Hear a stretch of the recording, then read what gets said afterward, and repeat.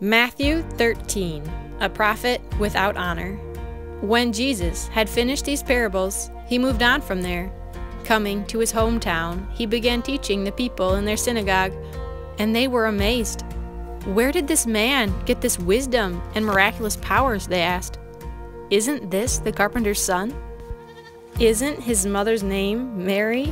And aren't his brothers James, Joseph, Simon, and Judas? Aren't all his sisters with us? Where then did this man get all these things?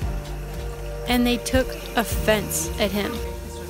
But Jesus said to them, Only in his hometown and in his own house is a prophet without honor. And he did not do many miracles there because of their lack of faith. Don't miss God because you're too busy looking at the person. God speaks in many ways.